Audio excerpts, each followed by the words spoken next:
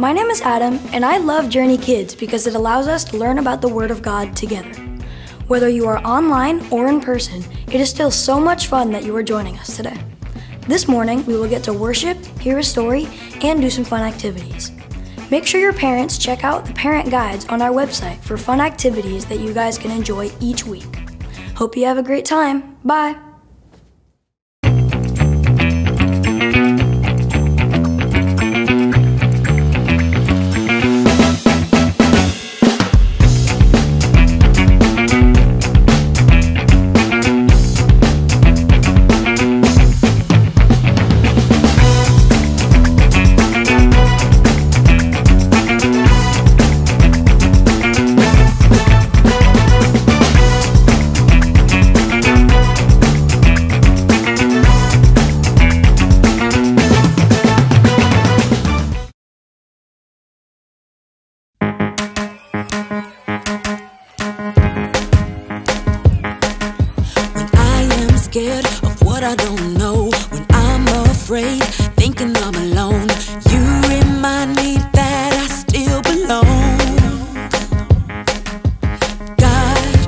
Help me to grow. I am scared, I don't feel strong. When I'm afraid, something is wrong.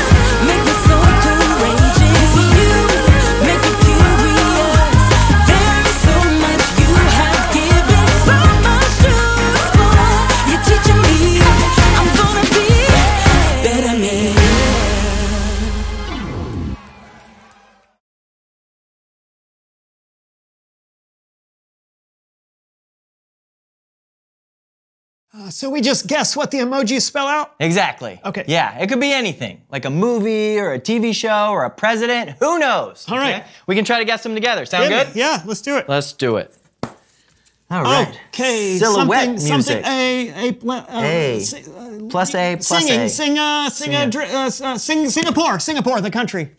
Singapore, yes. I got Whoa! it. Nice job. I was not gonna get that one. Um, iPhone. Ah, yeah. That was easy. I spent a lot of time on my iPhone. Uh, the Searching. mag- magnifying glass fish. I don't know. There's no magnifying Search. fish, is there? Uh, fi- finding Nemo. Yes. Yeah. I would have guessed Finding Dory, but that Oh, maybe. great job. Yeah, yeah. Uh, Taco Bell. yeah. Okay. I love That Taco. Bell. These are getting easier. All right, this one's gonna be easy. something- needle, Sewing thread, and sewing thread, television. sewing. Yep, uh, yep. Needle, needle- needle te- spool, needle television. and needle spool.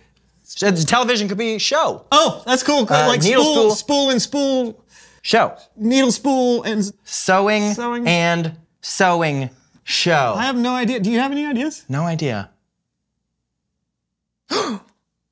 no. Oh! No.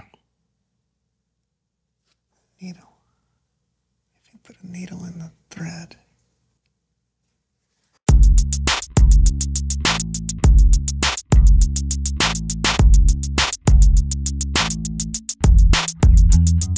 Hello, everyone. I'm Steven. And I'm Brandon. And this is the So and So Show.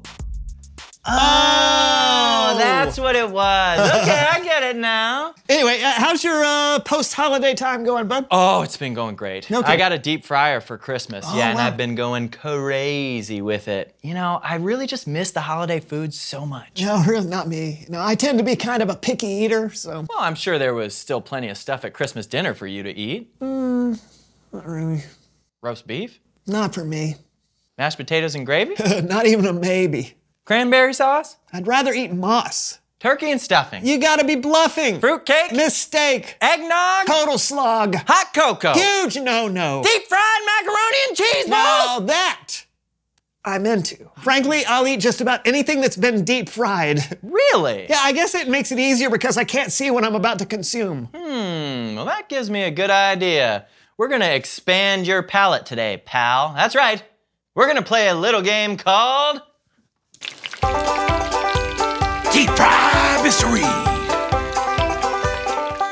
Okay, as I said before, I've been going nuts with my deep fryer. I will give you a selection of deep fried foods, and you're going to try and guess what they might be before biting into them. Sound good?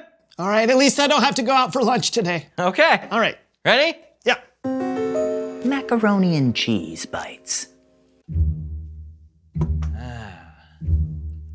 So, Brandon, what do you think it is? Um, well, I think this is uh this is what we've talked about before, the thing that started this whole conversation. I think this is a macaroni and cheese bite. This is so good. Yeah, well, I wanted to start you off with something easy. Mm -hmm. Next! All right. A fried Oreo. Hmm. So, what do you think it is? Can I can I touch it? Yeah. All right. Kind of looks like a vanilla wafer or a macaroon or something like that. Does it? Yeah. Can I try? You can got try- me, yeah, making me it, nervous. Okay, here, here. Mmm. Oh, good. It's an Oreo. Yeah, it's a fried Oreo. What do you think? That's pretty tasty. Yeah. Mmm. Okay, want to try another one? Yeah. Let's do it. Deep fried watermelon. Oh, Ah. I don't know. yeah. It looked like half a donut or like a cinnamon roll or something. I don't know. gotta try it. I don't like it. What do you mean, ew? It's just gross. You It's didn't even know falling yet. apart in my hands. Just take a bite. Okay, okay. Is that watermelon? It is! Who fries a watermelon? I do. I did. You have an opinion? I'm actually shocked how good it is. These have all been winners so far. Well, we'll see how that holds up. What do you think about this next one? Next! Salsa. This could be anything. It's like a fried egg, Uh, no. like a like cheese. I don't know. Oh, I don't know. Try it. Okay, I'll try it. Mmm, spicy. Yeah. What do you think? Is it salsa? It's salsa! I've never had salsa before. And you know this stuff would go great with tortilla chips? You don't say. I probably would have never tried it if it hadn't been fried. See, that's the point. You don't know what you like until you try it. Mm, I like this game. Hey, but we need to get this all cleaned up. Why? Cause it's Bible story time with Kellen. Oh, of course. You got any more mac and cheese bites? I do.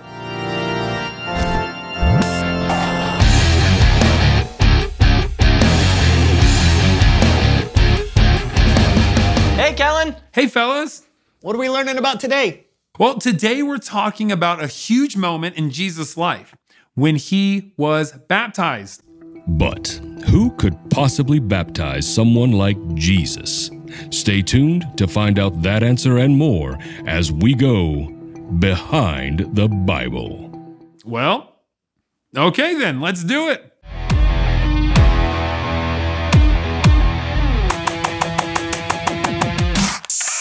John the Baptist was a cousin of Jesus. His clothes were made of camel hair, and for food, he ate locusts and wild honey.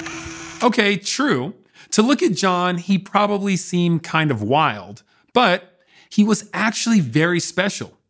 You see, years before, a prophet named Isaiah said this about John A messenger is calling out in the desert, prepare the way for the Lord, make straight paths for him.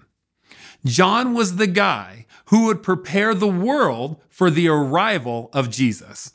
And he also dressed weird. Sure. John attracted so much attention, leaders in Jerusalem sent priests to find out more about him. People were coming up to me and saying things like, Are you the one that God promised to rescue us? Are you Elijah? Are you the prophet? I wasn't any of those things. So I told them the truth. I'm just a messenger. I wasn't even good enough to untie the Messiah's sandals.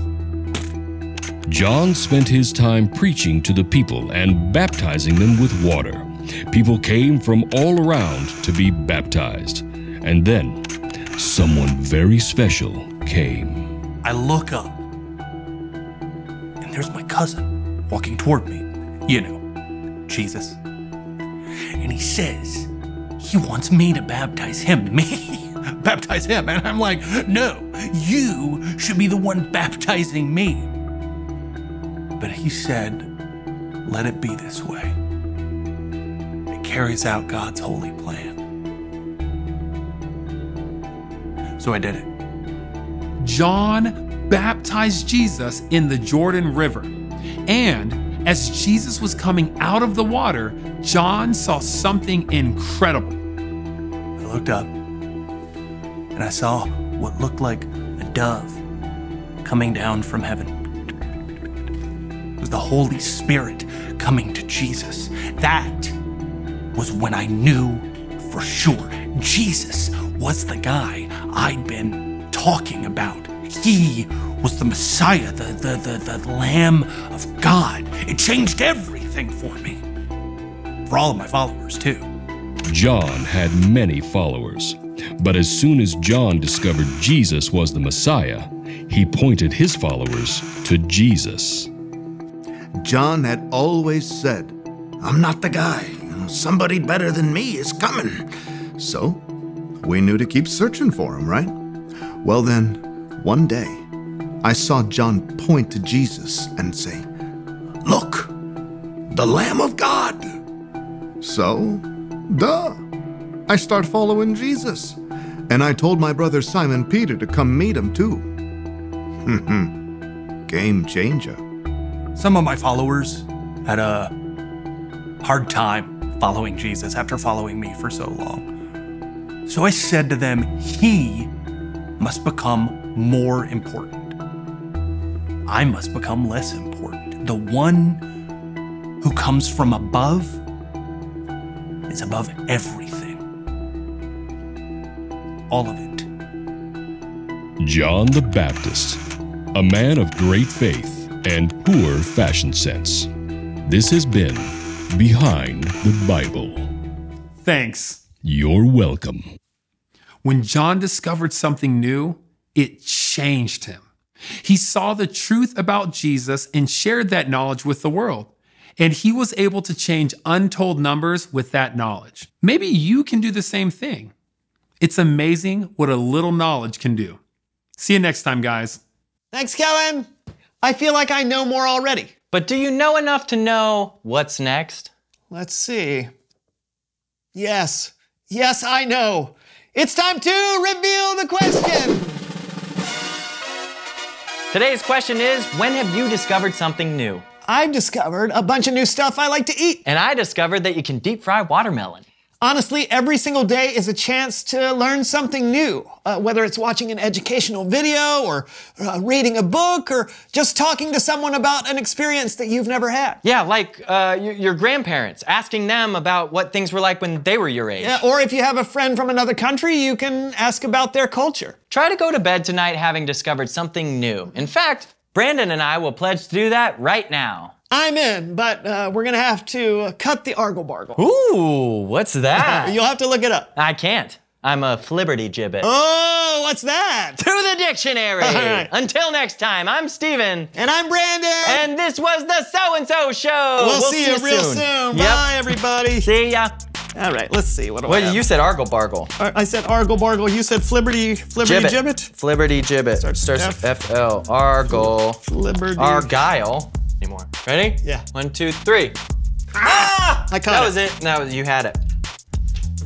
Have I tried this yet? I don't know what that is. I don't know what that is. It might be my notepad. It looks like lasagna. Mm, it could be fried lasagna. I did fry some lasagna. Yeah, honestly, I just fried a lot of stuff. my shoe got into one of them right before I did Oh, the okay. PB and J's.